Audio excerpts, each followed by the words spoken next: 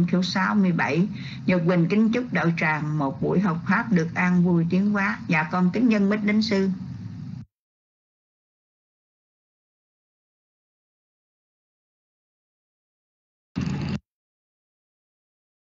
Nam mô Thầy giá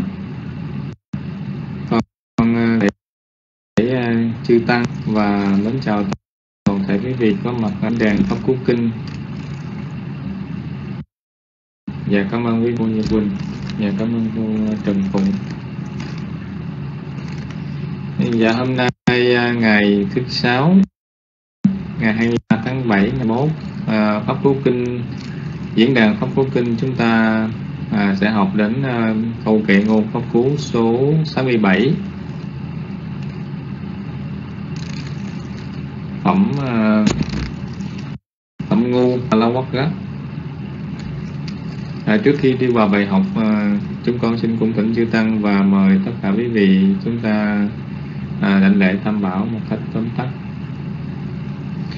Arahang samma sambuddho bhagava Buddhang bhagavantang abhivademi Soakato bhagavata dhammo หัมมังนัมาสามิ สุปฏิปันโนภะคะวะโตสาวกสังโฆสังฆังนะมามิ Dạ, Nam Mô Bụt Thầy Giá một lần nữa con uh, kính đảnh lễ chư Tăng và mến chào toàn thể quý vị Ngày hôm nay diễn đàn Pháp Cú Kinh chúng ta học đến câu kệ ngôn số 67 À, phận ngu ba la quốc gá Câu kệ ngôn à, số 67 à, Bài học ngày hôm nay có nội dung như sau. Na tăng cam mang ca tăng sa thu Yang ca toa anutapati Yasa sukho Yasa asu mukho rodang Vibhakang bati sewati Na tăng cam mang ca tăng xá thu Yang kato anu tapati Yasa asu mukho ti Vibhakang bati wa ti Nghiệp làm không chánh thiện Làm rồi sanh ăn năn Mặt nhóm lệ khóc than Lãnh chịu quả dị thục. À, Bản Việt ngữ của Ngài Hòa Thượng Minh Châu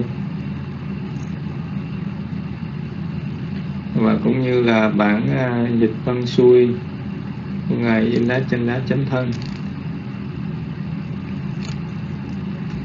Việc gì sau khi làm mà bị hối hận và tiếp nhận quả thành tựu của việc ấy với khuôn mặt đầy nước mắt khóc lóc thì việc làm ấy đã được làm một cách không tốt đẹp.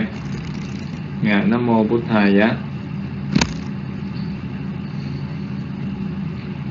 Dạ và đầu tiên thì à, chúng ta sẽ tìm hiểu về ngữ vựng của câu kệ ngôn à, pháp cú số 67 này.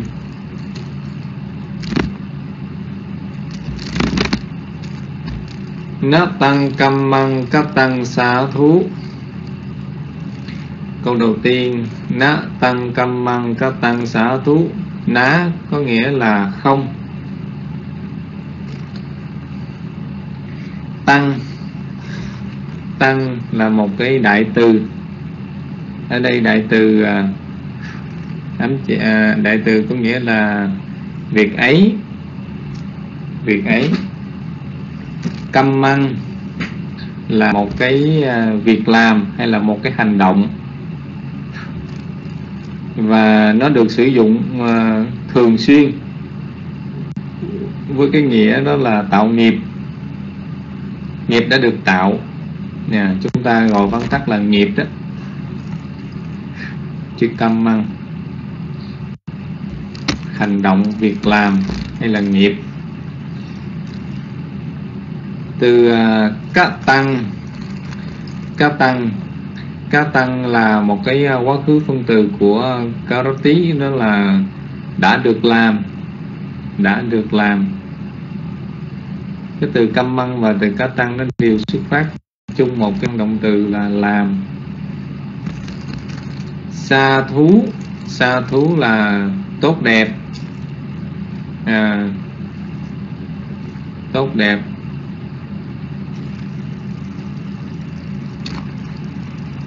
Hay là điều à, ở trong à, bản dịch của ngài à, hòa thượng minh châu thì ngài dùng là chánh thiện. Chánh thiện.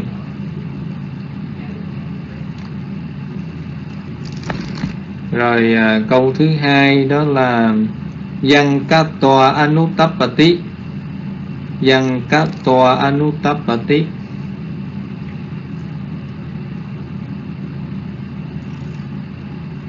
văn ca tòa anuttapati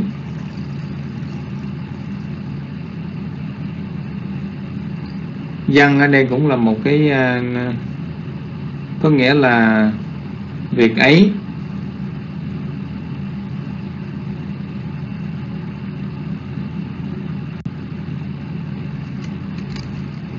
Các toa là đã làm. Nó là một cái bất cứ quá khứ phương từ. Nó cũng xuất phát từ uh, căn karoti.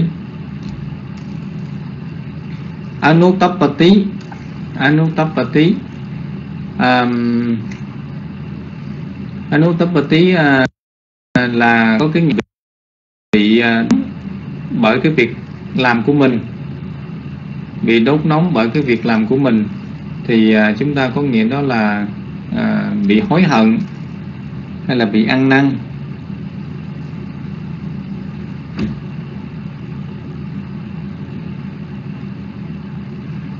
Bị hối hận hay là bị ăn năn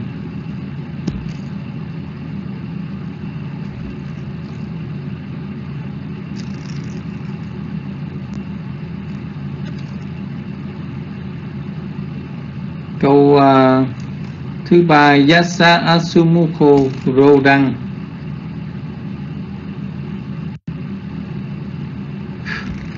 Yasa asumukho rodang. Yasa ở đây là một cái à, tiếp tục là một cái đại từ. Chia ở à, sở thuộc cách cái là của cái việc ấy. Asumukho à, đây chúng ta có hai từ kết hợp là asu và chữ mu khác à, asu có nghĩa là nước mắt. Chữ mú khá đó là cái à, cái khuôn mặt. Hay nhiều khi à, cái khuôn mặt.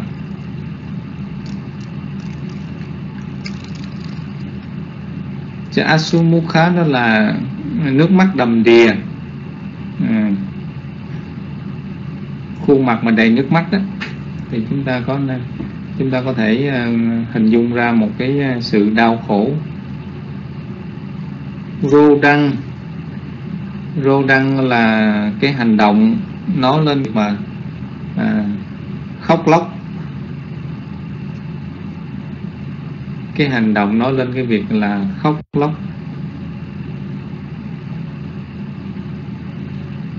Đang khóc đang chảy nước mắt. Rô răng yes sir. À, yasa asumukho rô đăng tiếp theo câu cuối cùng là vipa Kang patisewati vipa Kang patisewati vipa Kang à, là cái kết quả. Là cái kết quả hay là cái à, thành tựu của cái việc làm? Thành tựu của cái việc làm là kết quả. Patisewati à, Patisewati chữ Sevati ở đây là cái sự tiếp nhận hay là cái sự à, cung cấp. À, tiếp nhận hay là cung cấp thì có cái sự nhấn mạnh của cái từ Pati nữa thì là là có nghĩa là nhận lãnh hay là à, lãnh lãnh chịu. À, nhận lãnh hay là lãnh chịu. Batisewati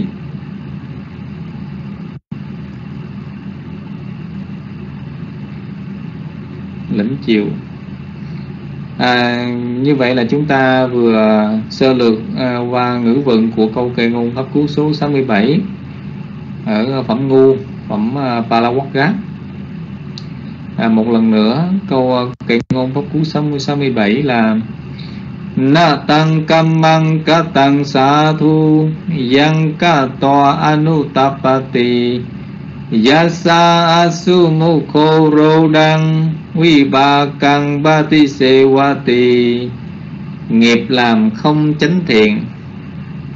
Làm rồi sanh ăn năn mặt nhóm lệ khóc than lệnh chịu quả dị thục. Hoặc là bản phổ thơ của ngài à, giới đức, bản việt ngữ. Ác nghiệp là nghiệp chẳng lành, ăn năn, hối quá phát sanh lòng người đến khi quả giữ chín mùi lệ tuôn đầy mặt lại trời khóc mưa. Nam mô bút thầy giá. Xà thú xà thú.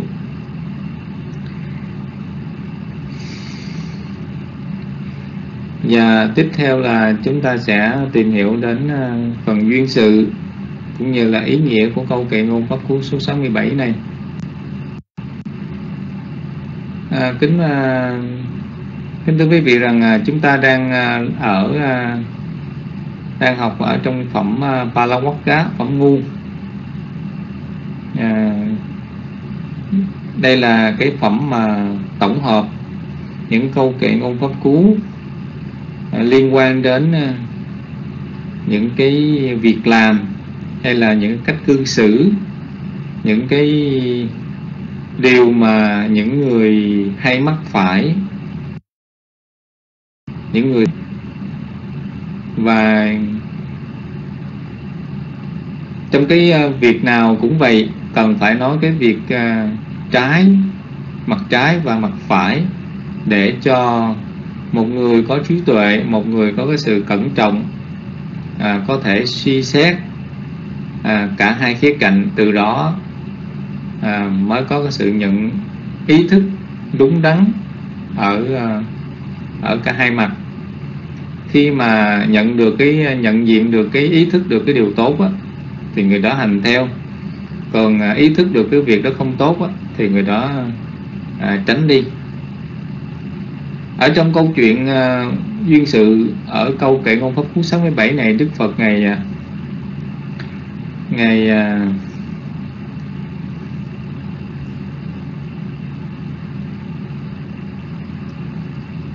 ngài có đến nói đến câu chuyện liên quan đến người nông phu mắc cạn Kassakawathu một người nông nông phu một người nông dân à, khi đó thì Đức Phật ngài đang ngự tại à, chùa Chetawana. thì à, đối với Đức Phật thì à, ngài có một cái thông lệ là ngài à, ngài luôn à, quan sát ở trong thế gian có những cái chúng sanh nào hữu duyên à, để mà ngài có thể ờ, tiếp độ giảng ờ, pháp hướng dẫn cho được cái sự thoát khỏi phiền não sanh tử luân hồi. Cái điều này ờ, là một cái thông lệ của chư Phật và thể hiện cái sự à, từ bi của ngài không biết mệt mỏi khi muốn tiếp độ chúng sanh. Và nó thể hiện một cái điều đó là à, Đức Phật là thầy của nhân loại nhưng ngài không có cái là một cái vị à, ban phước hay là à, cứu rỗi chúng sanh. Bởi vì à, nếu như là ngài có cái toàn năng đó thì à, ngài muốn chúng sanh nào à, à xa đọa thì chúng sanh đó phải chịu và chúng sanh nào sanh thiên thì chúng sanh nên được hưởng hoặc là chúng sanh nào muốn được à, ấn chứng giải thoát tuy nhiên ngài à, vẫn cái áp dụng cái cách đó là tế độ những người hữu duyên nên tế độ. Chỉ những người nào có cái duyên lành à, có cái pháp à, tu tập ba la mật trong quá khứ à, những người đó cần có được cái sự hướng dẫn. Nếu như được à, Đức Phật ngài mở mang khai trí à, hướng dẫn dẫn dắt thì cái người đó sẽ À, được cái lợi ích. Thì lúc đó ngài mới à, à, giúp đỡ. Và trong cái lần này thì Đức Phật ngài quan sát thấy một cái người nông dân. À, thì quý vị biết rằng à, ở cái thời kỳ đó hay là ở thời kỳ hiện hiện, hiện tại thì à, chúng sanh ở vô số. À, chúng sanh ở khắp nơi chịu khổ chịu cực rất là nhiều. Và cái nghề nông dân thì không phải là là hiếm tuy nhiên thì cái người nông dân này phải nói là có một cái phước rất là đặc biệt ở trong quá khứ và đã đủ duyên để mà được Đức Phật này tiếp độ. Đức Phật này thấy rằng người nông dân này sẽ bị gặp một cái à, một cái nạn bất ngờ. Tuy là một cái người nông dân hiền lành chất phát à, luôn luôn à, làm lụng với công sức của mình tuy nhiên à, sẽ bị gặp một cái nạn bất ngờ về cái tội trộm cắp. Thì quý vị rằng à, thưa quý vị rằng trong à, đêm hôm đó một cái nhóm à, cướp đã âm thầm à, cướp của những cái người à, giàu ở trong thành phố và đã trốn thoát trong trong trong trong đêm hôm đó. Và khi mà cái trộm cướp này đi ngang qua cánh đồng người nông dân này đã vô tình đánh rơi một cái à, túi vàng à, mà họ chúng đã cướp được. Và trong à, trong trong đêm tối thì họ không có phát hiện. Sáng ngày hôm sau thì người nông dân này cũng như thường lệ ra cánh đồng để mà cày cuốc. Thì Đức Phật ngài và ngài Ananda đã cố tình để mà ngự qua cái cánh đồng đó. À, khi mà thấy Đức Phật và ngài A Nan xuất hiện đi ngang qua thì người nông dân này rất là kính lễ.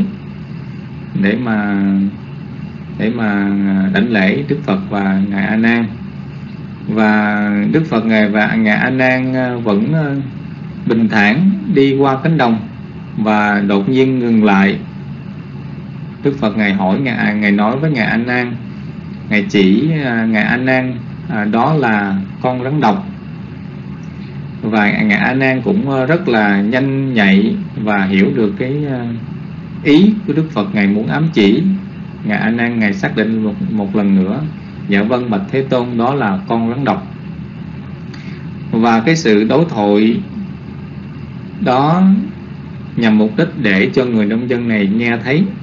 Và sau đó thì Đức Phật và ngài A Nan vẫn tiếp tục à, đi nơi khác. Thì à, khi mà nghe cái câu đối thoại đó người nông dân tò mò đi đến xem như thế nào thì phát hiện có một cái túi vàng à, và đã khởi lên cái tâm à, muốn lấy. Người nông dân liền lấy cái túi vàng đi giấu ở một cái chỗ khác và khi ờ, quan quân ở trong thành được báo cáo là có mất trộm và đi tìm thì uh, bổ vây đi tìm uh, những cái dấu tích dấu vết những cái tinh cướp ngang cánh đồng phát hiện là vàng được chung giấu tại đây ngay cạnh uh, cái người nông dân thì ờ, quan quân đã cho rằng người nông dân là là thành viên ở trong cái băng cướp này và đã bắt à, với cái tăng vật. Thì khi mà về ờ, đến hoàng cung thì người nông dân rất là lấy làm quan ức nhưng mà không có biết cách nào để mà bày tỏ với cái tan chứng vật chứng rõ ràng. Thì khi đó người nông dân mới nhớ lại cái cuộc đối thoại giữa Đức Phật và ngài A Nan. Và luôn và nhận ra lúc đó mới nhận ra rằng đúng ra đúng đúng đúng thật là quả đúng thật là Đức Phật ngày muốn nói cái túi vàng này là một con rắn độc. À, phải tránh xa nó nhưng mà mình lại à, lấy nó giữ nó. Và cuối cùng mình bị chịu khổ đau và trên đoạn đường à, bị xử tội thì người nông dân này cứ lặp đi lặp lại là à, cái cuộc đối thoại giữa ngài Đức Phật và ngài A Nan. Và à, được đưa đến đức vua để mà xét xử. À, khi mà thuật lại cái câu chuyện như vậy đức vua ngài cũng à, băn khoăn và dẫn đến à, đối diện với đức phật để mà hỏi xem cái có phải là đức phật ngài đã nói lên những câu như vậy hay không? À, sau khi được đức phật ngài xác nhận à, đức vua đã xử trắng án à, không còn à, xử phạt cái người nông dân nữa. Và tại nơi đó thì Đức Phật ngài đã à, thuyết một cái thời pháp để mà khích lệ sách tấn cái tinh thần của à, mọi người ở đó. Cơ cuối cái thời pháp ờ, thì Đức Phật ngài đã nói lên một cái câu kệ ngôn pháp cú mà chúng ta ngày hôm chúng ta học đó là câu kệ ngôn pháp cú 67 Natang kamang katang satu yang katwa nutapati yasa sumuko rodang vipakang patisewati. Qua cái câu kệ ngôn pháp cú này thì ờ, cái người nhân vật chính ở trong cái duyên sự đó là cái người nông dân. Bản thân cái người nông dân á, à, trên đoạn đường bị hàm quan đi xử tội đã nhận ra vấn đề. Và khi được Đức Phật ngài thuyết pháp sách tấn thì người nông dân đã hoàn toàn à, liễu ngộ được pháp. Và ngay lúc đó thì đã chứng được cái đạo quả tu đạo quần à, thánh đạo thánh quả tu đạo quần. Thấy được cái con đường à, chánh giác thấy được niết bàn. Đây là một cái à, câu chuyện duyên sự mà à, không hiếm lần mà chúng ta bắt gặp ở những cái nơi này, nơi kia trong chính thánh những cái câu chuyện tương tự. Những cái việc làm mà mặc dù đối với xã hội lúc đó hoặc là xã hội bây giờ chúng ta nghĩ rằng rất là rất là bình thường nhưng mà đối với một cái à, vị đã giác ngộ như Đức Phật á, thì à, ngài dựa vào cái cái câu chuyện rất là bình thường đó ngài dạy cho đệ tử của ngài ngài dạy cho chúng sanh một cái bài học một cái bài học về về à, à nhân quả nghiệp báo một cái bài học về à, luân hồi và qua cái bài học đó nếu người nào à, có cái sự ý thức và tìm hiểu cặn kẽ xét trên những cái phương diện việc tốt việc xấu thì qua cái bài học mà Đức Phật ngày muốn nhắn gửi chúng ta sẽ rút ra được một cái kinh nghiệm sống. Đó là đối với những việc mà suy xét rằng nếu mà chúng ta tiếp tục làm? Hay là chúng ta cố ý để mà hoàn thành nó? Kết quả sẽ là khổ đau. Kết quả sẽ là à, à, à đầm đìa. Thì hãy ngưng lại hãy dừng tay lại. Còn như là để mà làm cái công việc đó tiếp tục, thì về sau cái hậu quả trổ sanh thì lúc đó sẽ đau khổ muôn phần. Tuy đại học này chúng ta đã học rất là nhiều lần và chúng ta cũng có học kể cả lý thuyết và ở trên cái kinh nghiệm thực tế. Bởi vì à, trong cái cuộc sống này chúng ta hoàn toàn có thể thấy được cái nhân cái quả nó nó nó nó nó nó, nó xuất hiện. Không phải là không phải là ở đâu xa vời mà ngay chính bản thân mình hoặc là những người thân hay những người bạn hay là trong xã hội mà chúng ta đang sống. Và bởi vì ờ, một điều đó là do cái à, cái suy xét cái ý thức của của chúng ta đó là những à, chúng sanh còn dày đặc phiền não đó thì chúng ta bị si mê bị vô minh à, và phải nói rằng à, cái tâm nỗ lực tinh tấn của chúng ta rất là mỏng manh nhỏ bé. Cho nên mặc dù là chúng ta nhận thức được cái việc làm không chánh thiện cái việc làm xấu cái việc làm không tốt thì đưa đến cái quả khổ đau. Nhưng mà đôi khi là chúng ta lại phớt lờ. À, đôi khi chúng ta lại phớt lờ. Và khi cái quả trổ xanh á, thì lúc đó mới chúng ta mới là than vang trách móc. Và những cái việc đó là à, dễ thấy cái nhân và cái quả thì chúng ta còn tạm chấp nhận được. Còn những cái gọi là những cái nhân ở xa xưa ở trong quá khứ hay là những cái nhân mà ở tiền kiếp mà chúng ta tạo được mà chúng ta bây giờ không có nhận thức được đó, thì chúng ta à, khó chấp nhận và luôn luôn là sẽ trách than. À, trách than trời trách than đất trách than số phận. À, tại sao lại đối xử với mình như vậy? Tại sao một cái sự may mắn á, lại không đến với vân vân.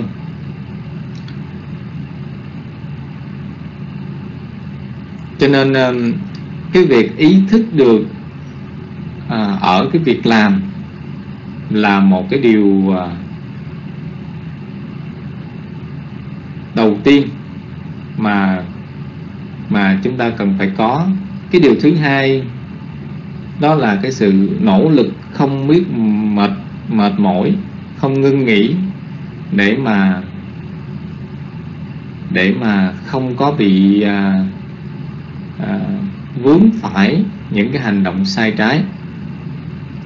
Ở đây à, thưa quý vị rằng à, cái nghiệp mà chúng ta cho rằng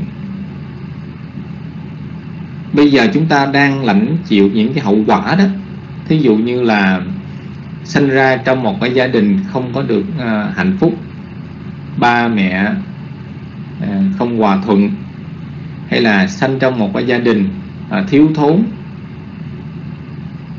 thì chúng ta cho rằng đó là quả à, không tốt của việc làm không tốt ở đời quá khứ. Hoặc là chúng ta lớn lên chúng ta ra làm ăn làm công việc và chúng ta gặp những cái bất hạnh bị hãm hại bị mất của bị à, tai họa và chúng ta à, cho rằng đó là những cái nghiệp làm không tốt ở quá ở tương ở ở quá khứ và nhiều khi ờ, còn những cái đau khổ khác như là chúng ta sanh ra à, có đầy đủ mắt mũi tay chân nhưng mà lớn lên thì bị ờ, bệnh hoạn bị ờ, yếu bị nhiều cái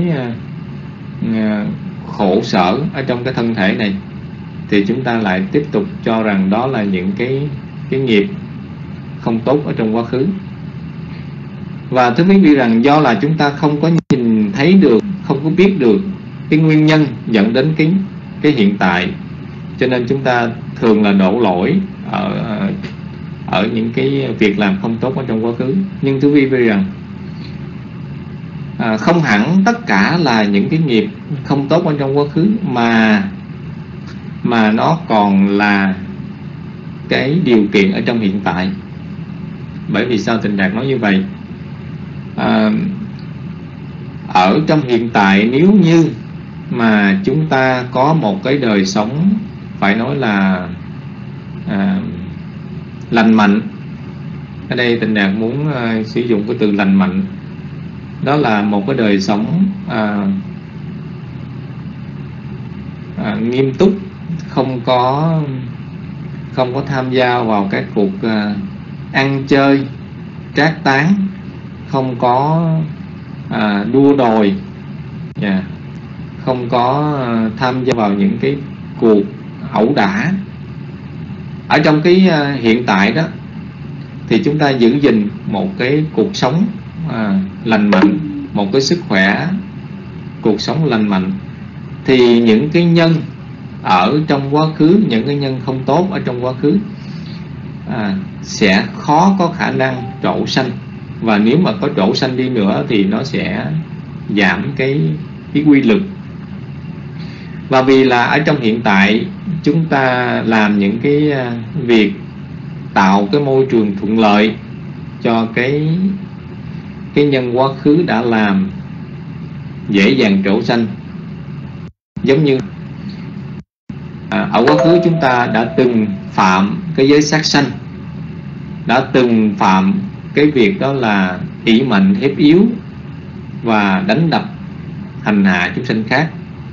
Và ở trong hiện tại thì ờ, khi mà chúng ta có quyền có thế hay là chúng ta có tiền chúng ta đọa vào những cái cuộc ăn chơi chát tán hút chích thì ờ, những cái nguyên nhân ở hiện tại đó nó là cái cái môi trường quá là tốt à, cộng với lại cái nghiệp không tốt ở trong quá khứ thì hai cái này cộng lại thì nó sẽ trổ sanh một cái quả hết sức là khổ đau.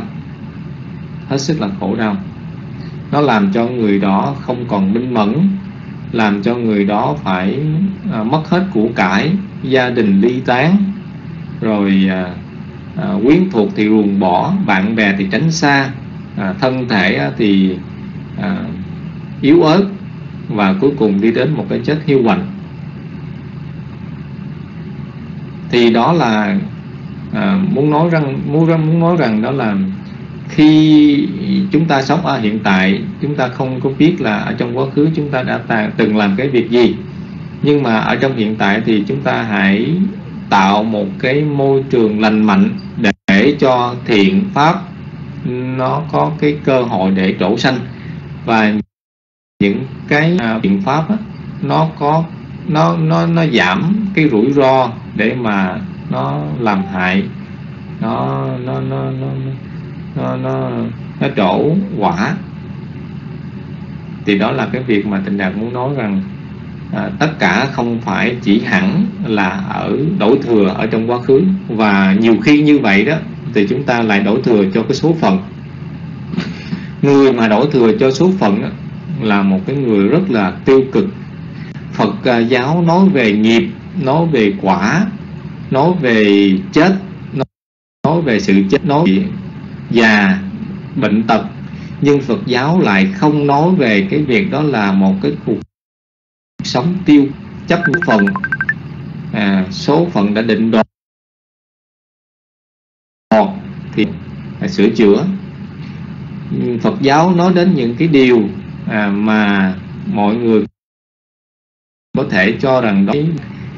Nhưng với cái nhìn của Phật giáo nói về sự chết nói về sự à, à, đau khổ là một cái nhìn chấp nhận một cái nhìn tích cực để cho cái cuộc sống không có bị à, nghi ngờ không có bị gọi là à, bất chấp mà sống. Và ở trong cái câu kệ ngôn này đó Đức Phật ngài gửi gắm một cái bài học rất là rõ ràng. À, nghiệp làm không chánh thiện nghiệp làm không chánh thiện ở đây là một cái cái việc à, à, là là cái việc không tốt. Làm rồi sanh ăn năn à, mặt nhuốm lệ khóc than lãnh chịu quả dị tục.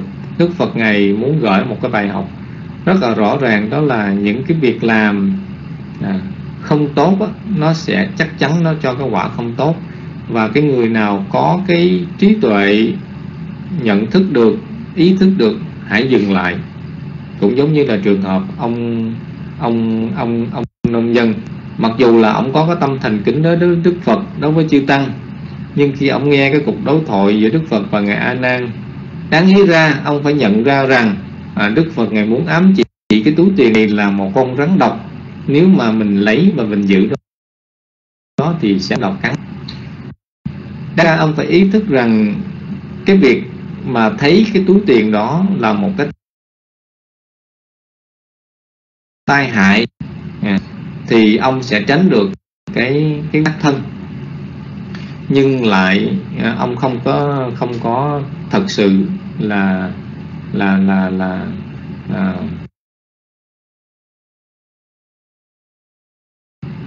cái hảo và cuối cùng may mắn là ông có cái à, à, gặp cái thời là có Đức Phật và có một vị minh quân.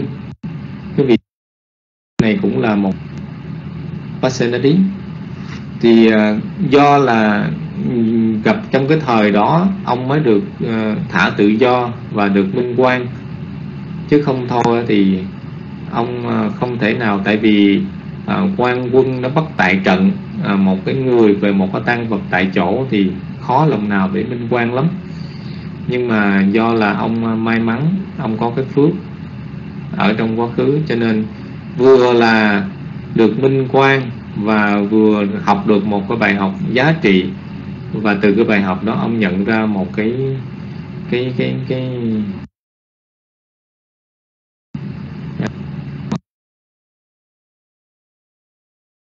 ông ông chứng đắc đánh đầu. Và qua cái bài học học này thì à, hẳn nhiên là chắc mỗi chúng ta đều có cái nhận thức, kinh nghiệm. Nhưng mà tịnh đạt muốn nhấn mạnh lại đó là, giống như là à, chúng ta biết rằng à, đọc sách hay là à, ham học hỏi á, thì à, luôn luôn là cái việc tốt. Tuy nhiên à, đối với nhiều người á cái việc à, tập một thói quen tốt có bàn chuyện phím tập một thói quen tốt à, không có à, tập một thói quen tốt là đọc sách nghe kinh à, phải nói là một cái quá trình gian nan khổ cực phải tập luyện thường xuyên. Tôi biết rằng à, cái việc làm bố thí cúng dường hay là giữ giới tu thiền là cái việc tốt. Nhưng mà muốn mà làm được như vậy thì cần phải có cái sự nỗ lực tinh tấn. Tôi biết rằng à, cái việc mà à, sát sanh trộm cắp tài dâm nói dối uống rượu là cái việc làm không tốt. Tuy nhiên để giữ được những cái điều này đó phải cần có một cái sự tinh tấn hết sức dũng mạnh.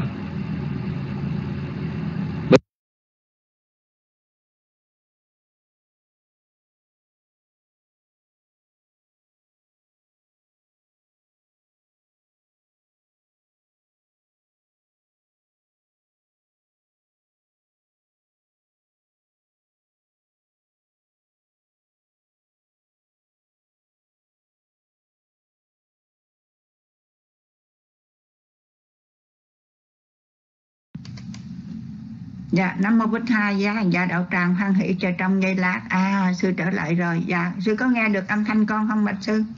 Sư nghe âm thanh con, sư uh, cho con một tín hiệu, con kính nhân mít đến sư ạ. À. Dạ, cảm ơn Quang Thanh. Dạ, con kính nhân mít đến sư rồi. Sư đưa tay cái là rớt rồi. Quý vị hoan hỷ chờ trong giây lát nha. Mến chào Đặng Đông.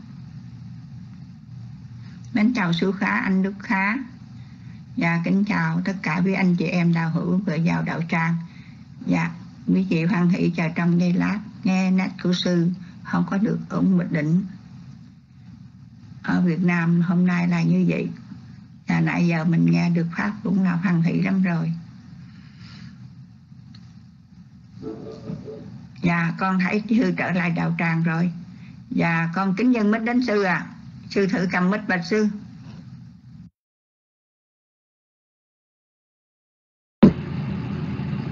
Dạ, à, quý vị có nghe lời âm thanh chưa? Dạ, dạ cũng may mắn là âm thanh nó liên tục cho đến uh, cho đến lúc này.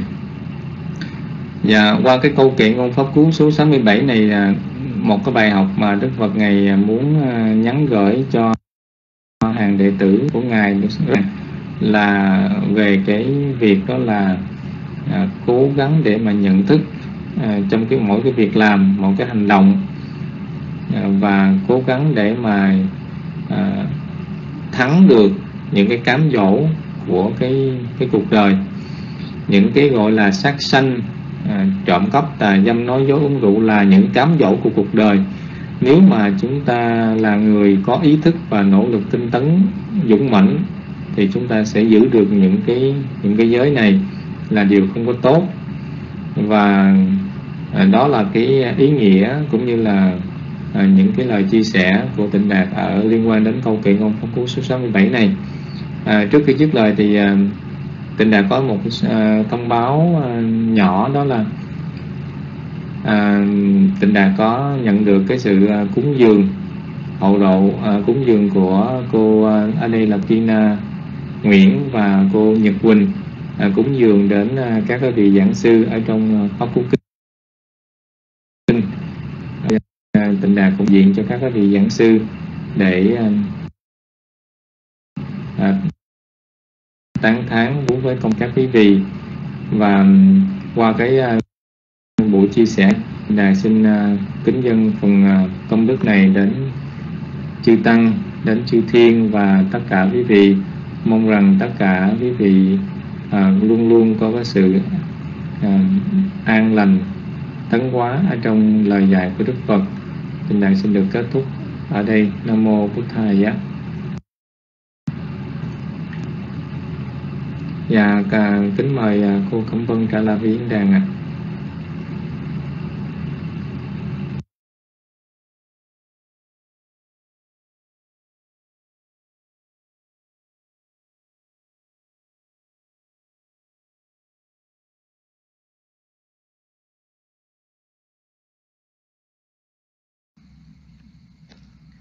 Dạ, yeah, sa thú, sa thú lành thai. Chúng con kính tri ân Đại Đức Tịnh Đạt đã giảng bài học số 67 ngày hôm nay cho chúng con nghe hiểu rõ để cố gắng học và hành theo cho được sự lợi ích và chúng con kính tri ân Đại Đức Tịnh Đạt. Và con kính thỉnh thường tọa minh hạnh chúc phúc cho rung chúng con được trọn vẹn phước báo. Và con kính dân mít đến sư.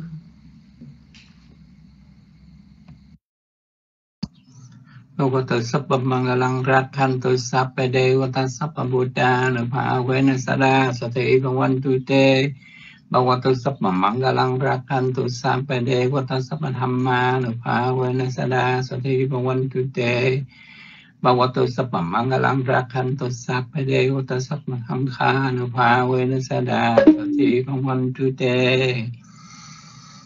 Thơ ca vâng phương có đến người cầu xin chư thiên hậu trì đến người do nhà quay đức của chư Phật do nhà quay đức của giáo pháp do nhà quay đức của chư tăng các sự thành lợi thường thường đến người cầu xin cho quả của tâm tinh thành tâm bảo cho được thành tựu mỹ mãn cho được thành tựu mỹ mãn cho được thành tựu mỹ mãn.